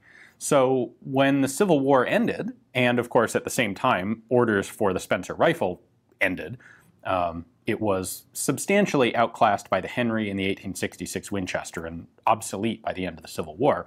Well, when that happened, he was kind of left in the lurch. He'd been an employee of basically his own company, but he had no actual stock holding investment in it. So they fired him and he was kind of out on his own. So what he did was hook up with Sylvester Roper, who was interested in, in having him join Roper's team, and Roper wanted to manufacture these shotguns. Now, Roper's first two guns, his prototypes, were actually rifles, not shotguns. But what they ended up putting into production in their Amherst factory was a four shot, 16 gauge shotgun. And it's a unique firearm in that it's an open bolt, manually operated gun, which is unusual. We'll take a look at exactly how it works in a moment. And it also uses its own, like, custom self contained cartridges. So this was designed a little bit before we actually had, like, standardized shot shells. Um, but it was designed after people were well aware of the concept of the self-contained cartridge, and you know, people knew how to do that and knew of its advantages over muzzle loading. And the Roper is one of these few rifles or few weapons right in the middle that is an intermediate system. It was sold with a number of steel reusable cartridge cases, and you would prime them with either a percussion cap or a primer, depending on the, the model of the shell, and then load powder and pack shot into it, buckshot, birdshot, nails, whatever you wanted to fire out of the thing. You'd load your own shells uh, and then put them in the gun. And after you fired them, they'd eject out and you'd collect them up and reload them again. So it gave you the advantages of a self-contained cartridge, namely you had a whole shell, you didn't have to wander around and then you know stuff things down the muzzle of the gun when you wanted to shoot. However, all of the shells were totally reusable and you weren't dependent on having to find fixed ammunition for sale, which in the late 1860s was potentially a problem. Um, not everywhere was going to have it, and who knows if they'd have the exact type that you needed. So that was the, the advantage of the Roper system. The open bolt thing was kind of a disadvantage. Uh, the company was around for about two years. They were making guns. They made about 1,300 of these uh, 16 gauge shotguns. In 1868, they uh, actually recalled, they'd only started making them uh, or only started selling them fairly recently. Uh, took them a while to get up into production. But in 1868, they recalled the ones that were out there. They retrofitted them with an adjustable choke uh, that Roper had invented, which was a pretty cool thing. We still use that sort of device today. And they also introduced a 12 gauge model. They ended up making about 250 of the 12 gauges. And these things were really expensive guns. The lowest end one you could buy would cost you $60, which was a ton of money in 1868. And for a nice fancy set, it's 100 bucks for the gun with some cartridges. This, combined with the open bolt style of action, led to really not very many people buying the guns because they're ludicrously expensive. And as a result, by late 1868, the company president had had enough. He was like, yeah, this isn't working. I'm tired of losing money. I'm going to sell this whole endeavor. I'm out. And at that point, Spencer kind of still needed something to do, and he thought there was potential in the gun. So he scraped up enough money to buy the company himself. And it became the Spencer Sporting Arms Company. And he moved it to Hartford, Connecticut, and set up production again. He actually got a guy named Billings uh, to join him as part of the, the company management team or engineering team. Um, and Billings had a lot of really valuable experience with tooling and, and uh, manufacturing technology. So that was a boon to Spencer and his endeavor. When Spencer set up his company, uh, they had a bunch of, of leftover 16 gauge shotguns. So they didn't manufacture any of those, but they did man- manufacture new 12 gauge guns, and they also added a rifle to the company catalog. A 40 caliber rifle that worked on exactly the same principle. You got reusable steel cartridge cases that you would hand load. Um, and these were available as either five or six shot guns, because of course 40 caliber is a little smaller in diameter, so you can fit more of them into this receiver section. And if you wanted to be really fancy, you could get a package deal, uh, a combination where you got one back end of the gun, and then you got a front end that was a rifle, and you got a second front end that was a shotgun. Pretty cool. Well, Spencer's company made about 600 of these, and this won't probably come as a huge shock. They were still, they were a little less expensive than before, but they were still very expensive guns. 45 55 $65 per gun uh, in that range. And so they still weren't being purchased by very many people. And uh, Spencer's company had to take up like some outside contracting work just to stay afloat. So they started doing contract drop forging and made a ton of money at it. Discovered that this was a far more lucrative thing to be doing than making guns. So they like got all the stockholders together and had a quick little session, and um, the outcome was the Spencer and Billings Company, which uh, did outsourced forging work, and um, they diversified quite a lot, and it became pretty successful. Spencer himself uh, would go on to invent the automatic screw machine, which some documentation, some literature uh, describes as like a machine for making screws. That's not the case. The automatic screw machine is a, a pretty cool piece of like lathe-like uh, machine tool technology that you can use to manufacture almost anything and is widely used to this day and is, was a major part of the development of the Industrial Revolution in the United States. And its invention uh, brought Spencer a small fortune by the end of his life. He did quite well off of that. He diversified into other work, into uh, sewing machine stuff, and all sorts of different mechanical ventures. He was really quite the inventive genius. And he would ultimately come back in 1880 and partner up again with Sylvester Roper to invent the pump action shotgun, uh, which didn't end up selling very well either. He kind of his best gun work was his very first gun work with the Spencer lever action rifle. But he went on to have a very successful and happy career doing other machine tool oriented work. So a, a, happy story of a successful gun designer. Too many of these guys spend way too many years of their life laboring on a design that is ultimately a failure. So it's nice to have one that turns out well for a change. Anyway, uh, let's take a closer look at this gun because it really is a cool, interesting, and unusual action. I can already hear you asking how on earth a manually operated open bolt gun is supposed to actually work, and well, it's actually simpler than you might think, as well as our most open bolt guns. Uh, we have a loading cover here, and by opening that you can get a better view of what's going on in the gun. This is the bolt, and this isn't really a hammer, although it looks like a hammer. It's actually more of a cocking lever. So I'm going to cock this all the way back and lock it open. And at this point, we would have a cartridge sitting in this channel of the magazine when I pull the trigger, this bolt is going to go all the way forward. It's going to load that cartridge into the chamber, lock. There's a toggle inside here that locks the bolt forward, and then fire. The last motion forward uh, strikes the firing pin right here and actually fires the gun. So there it goes, locks, and bang, fires. Then, after you've fired one round, you recock the action, and the last thing it does when it locks open is pop. I don't know if you can see it, but this is a spring-loaded magazine that rotates or indexes one position every time you open the hammer all the way, or open the bolt all the way. So for rapid fire, all you have to do is cock this open and pull the trigger. Bang, it fires. Cock it. Bang, it fires. Cock it. Bang, it fires literally that quickly. Uh, once you have emptied the magazine, fired all the cartridges, then what you do is tip the rifle upside down and basically cycle through the magazine again, dropping the now empty cartridges uh, out of the magazine. I should say every time after you've fired, what it does is extract the empty cartridge until you hit that point where the magazine rotates, which pops the cartridge out of the extractor in the bolt face and lines up the next cartridge to use. So the downside to this is, of course, that firing from an open bolt means you've got a lot of stuff going on and moving before the gun actually fires, um, and thus you have a lot of opportunity for your aim to wobble off of target. There was a solution to that presented uh, by the company in their company literature, and that was the safety notch. So if you want to make a more precise shot, what you would do is cock the thing open, and then you can let it down, release the trigger, and it will drop to either the firing notch, or depending on where you release the trigger, the safety notch right here, which is just shy of firing. And then you cock it back to that point and pull the trigger here. You have a nice light crisp trigger pull. You have a much faster lock time because things aren't really moving. Um, you know, the bolt's going from here to there.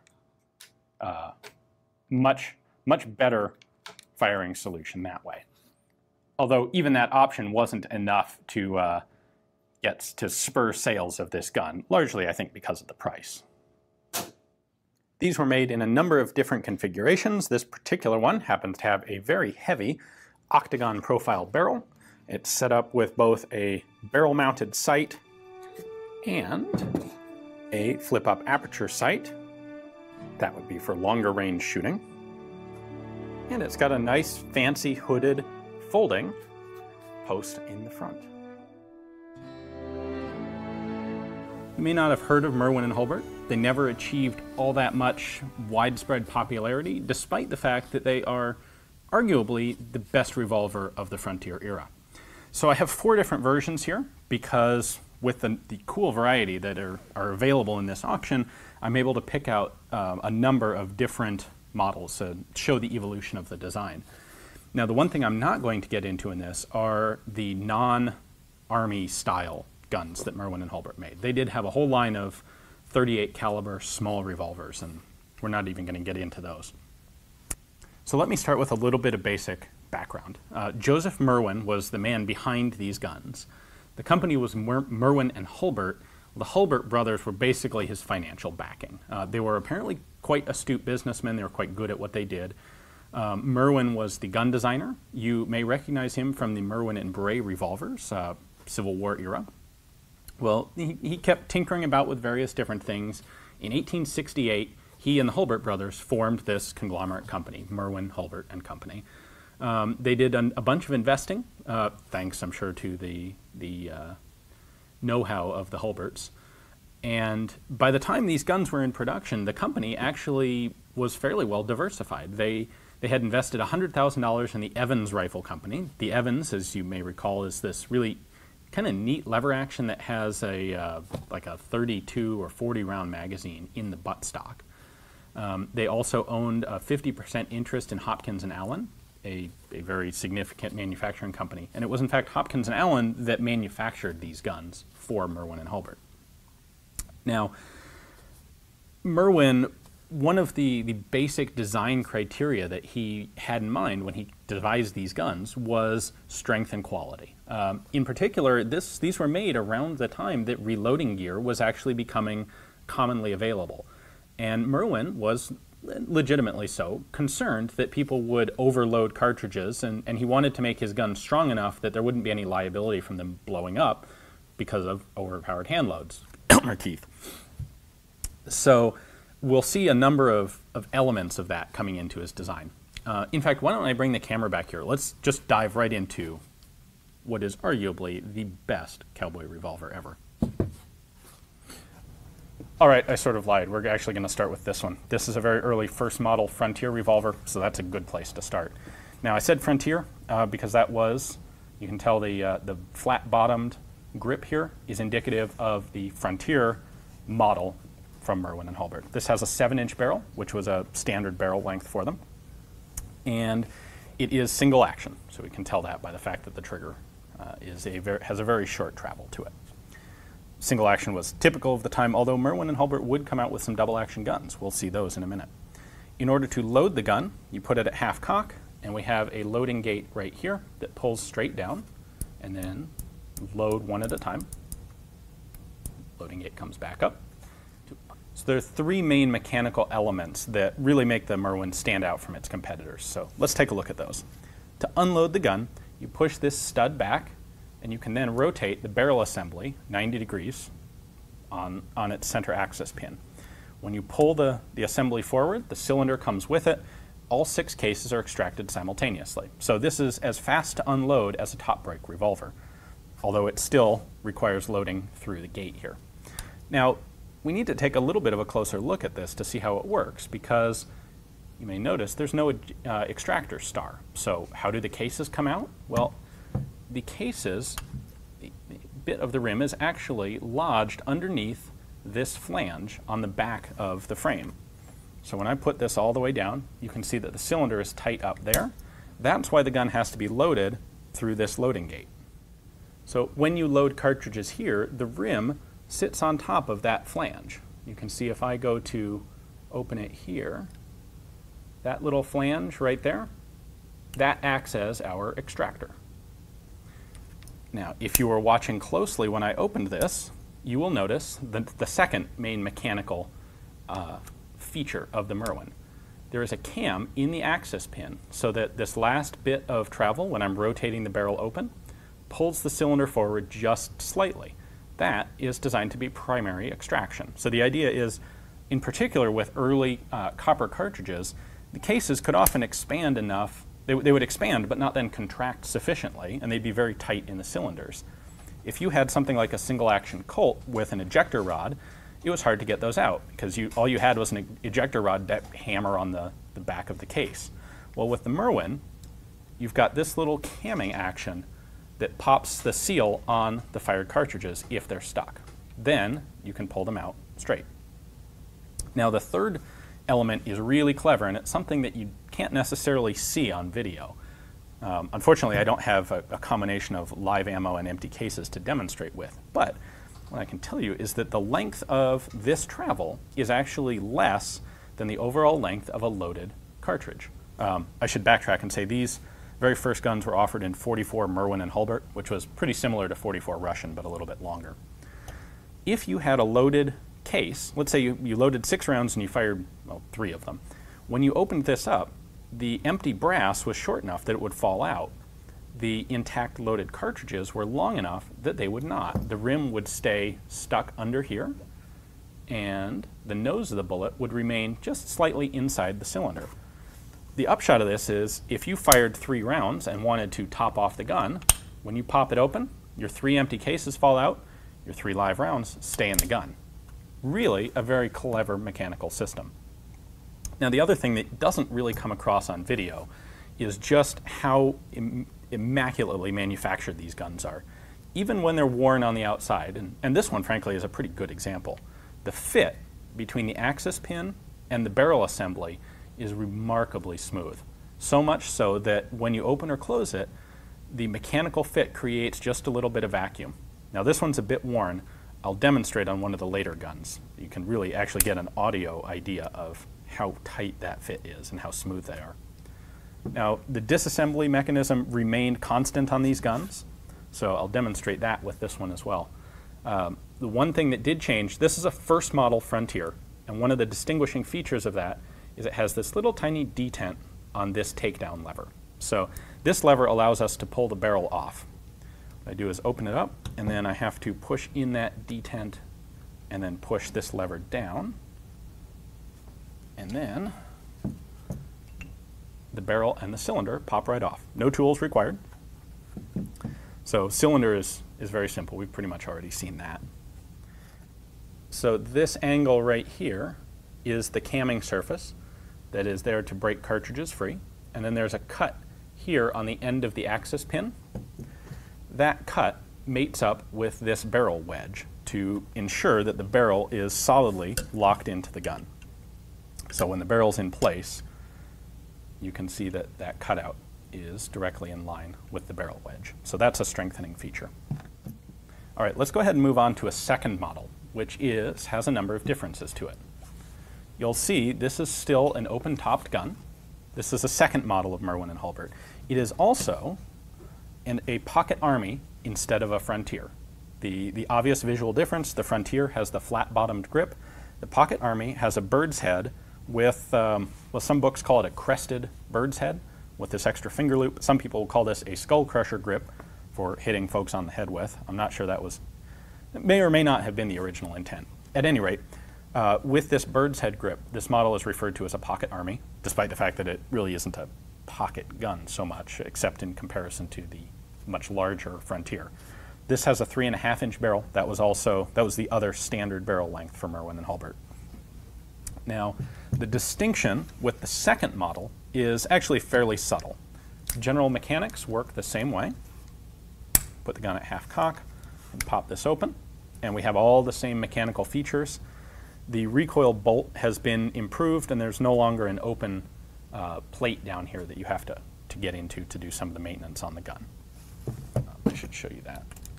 Here on the first model, this is a removable plate. Here on the second model, it's not, it's a solid frame. Now, one of the other changes that the second model made, the first model guns were all offered in 44 Merwin and Hulbert, which is, of course, impossible to get today yeah, I'm sure you could hand load it. But with the second model, they started offering these in 4440, or as it's marked here, caliber 1873 Winchester. Um, that made the guns, uh, gave them a wider market because the, the 4440 cartridge was very popular and easily accessible everywhere. So The other thing that I want to point out with this one, obviously the outside is not in as good of condition, but it is engraved. And in fact, you'll notice if you start keeping your eyes out for a lot of Merwin and Hulberts that there seem to be a remarkable number of engraved examples. There's good reason for that. The company actually came up with an engraving method that was largely mechanical. It involved basically pin punches instead of a handheld engraving tool. That allowed them to offer engraved guns from the factory at a very reasonable price point. If you were simply you know, a reasonably middle class sort of person who wanted a fancy gun, you could afford an engraved Merwin and Hulbert. Uh, if you wanted an engraved example of a Colt or a Remington, well, that was all hand done work and that was much more expensive. So, for that reason, you'll find a lot of engraved Merwins out there from people who simply wanted to have, they appreciated the fact that they had the best mechanical revolver on the market and they wanted it to be one of the best looking ones as well. So, enough of the second model here. Let's move on to the third model. So we have two examples here of the third model of Merwin and Hulbert.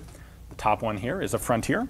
There will be a quiz at the end, I suppose. The Frontier has the flat grip. The second one has the bird's head grip, which would make it a pocket army model. Um, what's really distinctive about the third model is that they finally introduced a top strap. So the barrel wedge up here is gone. That's no longer necessary because now the barrel is held in place down here and up at the top. That being said, it still retains the same mechanism. Put the gun at half cock, pull this back, and it opens to extract and eject. Now this particular example is also in 4440 caliber. It has this very frightened looking deer on it. Some of the engraving, in fact, the, the engraving patterns vary quite a bit, and some of them are a bit entertaining. Um, this again has a three inch barrel. I think you could make a very substantial argument that this gun, this exact model, would have been the best firearm in the Old West. It's got the strength of a, uh, a solid frame revolver. It's got the reloading, ejecting and reloading speed of the fastest top break guns. Um, has a very convenient short barrel. This is really the epitome of the ideal Old West gunfighter's pistol. Now we do also have this version. The clever-eyed viewer will have noticed that there is something different about the trigger here. This is a double action version of the Merwin and Hulbert. I mentioned that they did make these. Well, this is a third model, double action Frontier. Uh, now I believe this one, yes, this is also in caliber 4440. Again, that's marked Winchester 1873 because that's uh, when the cartridge came out and how it was often designated. Uh, all right, I had mentioned uh, I had kind of hyped the quality of the machine fit between the barrel and the axis pin. And this is the gun that I want to demonstrate it to you with. Now, if you look at this gun closely, frankly, the finish is, mm, is not in real good shape. That's an awfully brown cylinder. There's a lot of surface pitting, the nickel's coming off. You would think this is not a particularly well cared for gun, and yet internally it is still magnificent. At least the action is. So, uh, being double action, I cock the hammer all the way back to, to free it up to reload push this in, pull this back, and what I'm going to do is actually point the barrel down. And there is enough of a vacuum created by the mechanical fit that it actually pulls the barrel back under vacuum until that vacuum slowly leaks out and it comes all the way forward. So there we have an, a basic introduction to the 44 caliber Merwin and Hulbert.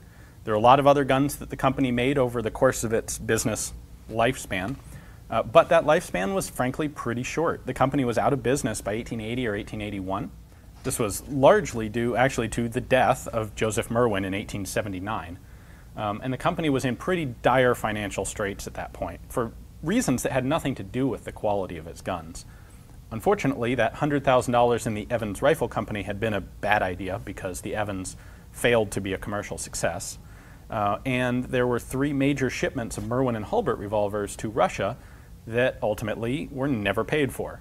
Um, the company was having some issues. It was these guns were tested by the U.S. military, which found all of the, the strengths that I've gone over with you, but the Army didn't think that they were a, enough of an improvement over the 1873 Colt to be worth changing over to. Uh, and that may have been as much politics as mechanics, but ultimately didn't make a difference to Merwin because the Army didn't adopt his guns.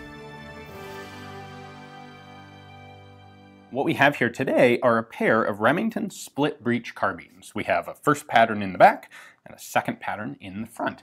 This is the gun that would, in its next evolution, become the Remington rolling block, which would be a somewhat uh, underappreciated mainstay of worldwide military forces for a couple of decades towards the end of the 1800s. This is arguably the best, or the rolling block that would follow this is arguably the best single shot military rifle that was ever developed. It was simple, it was reliable, it was durable, it was effective, it was accurate, and it would see service all the way through World War I. However, at its very beginnings, it was this, the split breech carbine. And we'll look at these in detail in a moment, and I'll show you exactly why where that split breech name comes from. But the origin of this is interestingly actually two guys who apparently came up with basically the same idea at the same time. The first one was a guy named Leonard Geiger, Geiger uh, who patented some, the, some of this concept um, and then never actually put it into practice. Uh, this would be the early 1860s that he did this.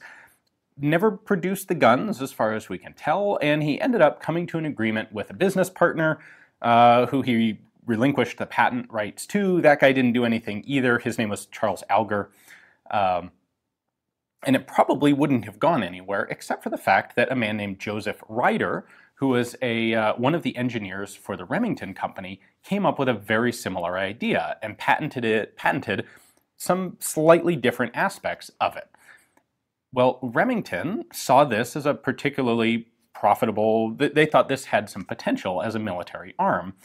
And when they went to start producing it, they discovered Geiger's patent. And well, it wasn't the very first thing they did. They, after a year or two, they realized that there was a potential legal problem here um, because there was overlap between the two designs. So they came to an agreement with Geiger and um, Alger to actually pay a license, a royalty on Geiger's patent. So uh, Geiger and Alger ended up making a nice amount of money on their patent, despite never actually manufacturing it. So it worked out well for them.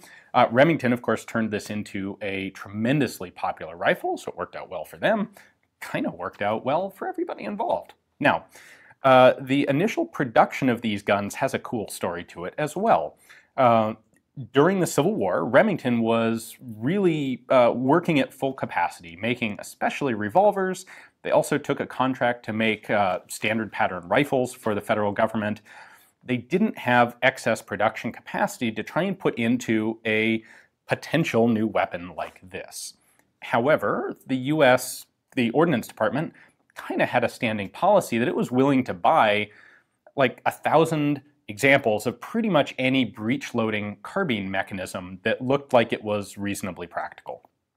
So in 1864, Remington took one of these guns, one of, well, a Remington made prototype, uh, to Washington to demonstrate to the Ordnance Department. And the demonstration went fairly well, and they happened to run into a guy there by the name of Samuel Norris, or uh, Morris. Morris would end up being pretty heavily involved in Remington, but at this point, his involvement was that he thought this carbine had potential, and and he was eager to try and make some deals. And Remington was kind of had more work than they could deal with. And the two came to this agreement that Norris uh, would basically act as a rem- an, an, agent for Remington. And if he could get a contract and get production and just, if he could deal with it, uh, Remington would be happy to give him a royalty on the, the you know, a, a portion of the contract, portion of the profits. And hey, that meant if Remington could get a contract for their guns, great, uh, they'll make some money on it, but they're not willing to try and deal with all of the hassle of, of getting production, they don't have room to do it themselves. So Norris managed to arrange a contract from the federal government for a thousand uh, small frame, the first pattern Remington split breech carbines. These were in 44 rimfire caliber, and well, the trick was he had to then find someone who could make them. He ended up finding the Savage Revolving Firearms Company. We've done some videos on uh, Savage revolvers and Savage revolving rifles they had some manufacturing capacity and they were willing to take on a project like this. With a caveat, they weren't willing to do a thousand guns. They needed a bigger order in order to make it worth their while. They needed, they, they wouldn't do this unless they got an order for 10,000. So Norris took a substantial risk here and he put in an order for 10,000 split breech carbines with the Savage Firearms Company, despite the fact that he only had a contract to make a thousand for the government. He was he was enough of a believer in the system. He thought it was a good enough gun that he figured either the government would order more or someone would be willing to pay for these guns, and he was willing to risk a substantial amount of his own capital uh, to make this happen. He thought it would be worthwhile, and as it turns out, he was right.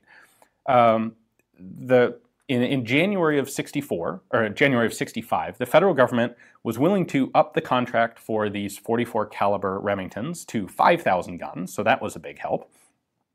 Um, because the federal cavalry was having trouble procuring enough guns that were good and reliable. Uh, at the same time, or actually slightly earlier, in September of 64, the Union decided to standardize on the 5650 Spencer cartridge for all of its cartridge firing breech loading rifles. They had a lot of Spencers, and they were getting enough of these new various types of breech loading carbines in different calibers with, I mean, totally different types of ammunition sometimes. If you look at things like the Maynard cartridge, uh, that they wanted to standardize it. So when they standardized on the 5650, which was the Spencer cartridge, they came back very quickly thereafter, the, next month, October of 64, and they offered Norris and Remington a contract for 15,000 of these split breech guns in 50 caliber, 5650. Uh, so Norris's bet paid off. Um, in fact, he managed to sell 20,000 of the guns from an initial order of 1,000. Did great. He would go on to have a, a, a bright future with, uh, in cooperation with Remington. The only real downside here is none of these guns were actually delivered in time to take part in the Civil War. Uh, in fact, the uh, the 56 the 50 caliber guns the deliveries didn't finish until like May of, of 1866, so well after the war was over. Uh, Remington was one of well, and Savage and Norris were one of the lucky uh, contractors to the the Union in that they were actually allowed to complete this contract even after the war ended. Most of the Union's arms contracts were simply canceled uh, when the peace when peace was reached. They didn't need any more guns. They had plenty to begin with. Now that the war was over, they didn't have to maintain, you know, keep buying new stuff. Most of these contractors just that's it. We're canceling it. And some of these guys got really kind of left in the lurch financially. Well, Remington, Savage, and Norris were lucky in that they their contract was allowed to be fulfilled. The design of these two carbines is really identical mechanically. However, in 44 caliber, they were a little bit smaller than in 56 or 5650, which by the way, that's a 56 caliber base of the cartridge, which tapers to 50 caliber at the bullet. Um, that's what that nomenclature is. So the 50, 50 caliber gun had to be just dimensionally larger in order to fit the larger cartridge, and that's the difference between these two. Um, the Savage factory manufactured all 5,000 of these first pattern small frame guns, and then they retooled as necessary to make the larger pattern 50 caliber guns and made the whole contract of 15,000 of these. So a grand total of 20,000 manufactured between the two. So the way this works is you have a hammer and you have a breech block. And the breech block rotates on this pin, pivots open, and gives you access to the chamber right here. So you would put in a cartridge and then you would close the breech block. And then what's clever about this system is that when the hammer falls, it actually locks the breech block and prevents it from rotating. So as soon as that starts moving, there are two interlocking, basically interlocking round uh, surfaces inside here the hammer locks the breech. And so it fires, uh, doesn't have any, uh, can't open until you recock the hammer, which then unlocks the breech. It's a very clever system. It's a simple system. Um, worked, well, worked quite well. Um, these were originally relatively low power rimfire cartridges. And the reason for the split breech name is simply that the hammer is right smack in the center of this breech block. Now, that would prove to be fine for 44 and 44 rimfire and 5650 Spencer. It would not be suitable for larger, like real rifle caliber cartridges. And so after doing these split breech guns, uh, Rider, Joseph Rider, uh, Remington's engineer, and the Remington company would go back and they'd redesign this system a bit to make for a solid breech block. And that is what would be officially known as the Remington rolling block and what would become very popular. Here's the larger of the two, the 50 caliber, which works exactly the same way, just slightly larger parts. You can see there's a little nub on the breech block wheel here, and that acts as the extractor. So when you open this, it's going to do nothing until you get to about there, and then it's going to start to pull the cartridge out, and it pulls it just about a quarter inch out of the chamber. You can then grab it, throw it out, and put in a new cartridge. The firing pin is right there, fixed to the face of the hammer, and there's a little hole in the breech block for it to go through. Of course, these are rimfire cartridges, so the hammer is, or the firing pin is offset at the top of the cartridge. We have some markings here on the tang. Uh, Remington, Remington was located in Ilion, New York. That December 22nd, 1863 patent is, I believe, the Geiger patent uh, that they got permission to use. And then the 1864 patent is Joseph Rider's patent. When this became the rolling block, uh, a, a, whole bunch of additional patents would be filed for various features. And on, late, on Remington rolling blocks, you'll see the list of patent dates on their markings uh, continue to expand. These were uh, U.S. martial property firearms, despite the fact that they arrived too late for the Civil War, so they will have uh, the appropriate inspector's cartouches on the stock. Uh, now, if the stocks have been replaced at any point, which isn't all that uncommon, uh, because these would go on to see combat use, we'll talk about that later. Um, if the stocks have been replaced, obviously the cartouches are gone, but on this 50 caliber one, it's pretty cool that they're still there, as is the U.S. stamp on uh, the butt plate. The sights here are pretty typical for this sort of thing. You've got a rear notch for 100 yards, and then you've got a flip-up post which gives you a notch for 300 and a notch for 500. Those are both marked on there, 3 and 5. Wow, that's tight. There we go. That lifts up. Note that you actually have kind of a buckhorn style of sight picture. There's a rear notch with an opening above it. Front sight is just a basic barleycorn style post. Now, I think even the best part of the story is yet to come, uh, and that is what happened to these after they were received into federal government property. Uh, of course, it's 1866. The Civil War is over. They don't need all of these guns. They basically go straight into storage. And then in 1870, the Franco-Prussian War happens. Uh, one little aside here, the Spencer Rifle Company went out of business in 1869. If they had managed, and they're I should say, and they were bought up by Winchester. If they'd managed to squeeze out one more year, they might have actually ended up in a financial position to have Spencer buy out Winchester and substantially change American firearms history because of the Franco Prussian War. Uh, it didn't go so well for the French, uh, and in 1870, they found a massive French army surrounded, cut off, and ultimately captured by Prussian forces. And in the process, the French lost literally hundreds of thousands of rifles and became desperate for more small arms. Well, where on earth are they going to get small arms? They, you know, there's only so much that you can tool up and manufacture on your own, uh, especially with the country at war. Well, what about other countries that might have big stockpiles of surplus guns that they would be willing to sell to the French? Well, Here's the United States just a couple years after the end of a civil war, where the US has manufactured a boatload of guns, and now they're all sitting in storage, and in fact, the US government is starting to sell them as surplus. Well, a couple of private companies, in particular one by the name of Schuyler, Hartley, and Graham, started purchasing up large quantities of American surplus firearms and shipping them to France for a really pretty nice profit. Uh, some other guys got into this business. In fact, uh, Hartley would end up buying the Remington company several decades later. Uh, and at this point, he was cooperating with Remington. Remington had sold they'd sold these small frame guns to the government for $17 each, and they'd sold the large frame ones for $23 each. Well, they bought them back, clean, stored, and basically unused for $15 each, and then sold them to the French. So Remington made a quite nice profit, along with some of these other surplus dealers, uh, shipping all this American surplus off to France. There's one particularly fun story where um, a guy named W.W. Reynolds, he was uh, delegated to be an agent for Hartley, Schuyler, Hartley, and Graham, uh, to take a batch of guns, a large batch of guns, something like 80,000 rifles and carbines, uh, maybe even more than that, I don't remember the exact numbers, to take them over to France, deliver them, take payment, and then come home.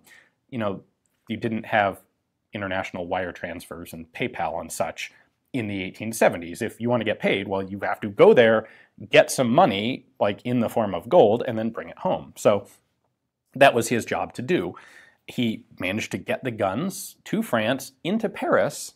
And by the time the deal was all closed and finalized, Paris was getting surrounded by the Prussians. Uh, and he managed to make his escape from Paris I kid you not, in a hot air balloon with a couple of really close calls when the wind started blowing him over Prussian army encampments. Uh, that right there, by the way, if there are any movie producers watching, the story of that arms sale from the US to France and the subsequent escape by hot air balloon, that would make an awesome movie if done right. I'm just saying. So ultimately, what happened to virtually all of these Remington split breech guns is they got shipped over to France. They were not used in the American Civil War, but they did get used in the Franco-Prussian War, especially the ones in 5650.